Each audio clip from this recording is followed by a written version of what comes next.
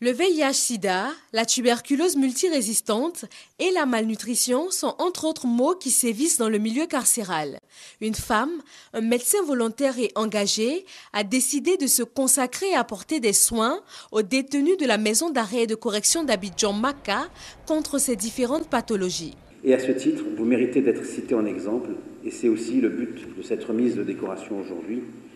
que votre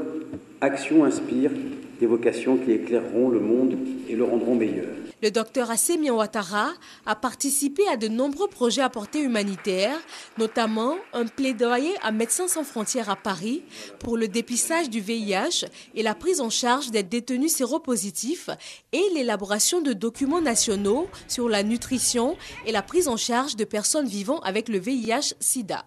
C'est donc avec une certaine émotion, mais beaucoup plus avec une immense joie que je manifeste ma grande et infinie reconnaissance en ce jour exceptionnel à la grande France, qui a bien voulu m'honorer pour le travail que j'ai fait à mon modeste niveau dans le cadre de l'amélioration de la santé des détenus en Côte d'Ivoire. Les actions du docteur Assemi Ouattara ont permis la bonne mise en œuvre de nombreuses actions sanitaires à la MACA, maison d'arrêt de correction d'Abidjan, et dans d'autres prisons du pays.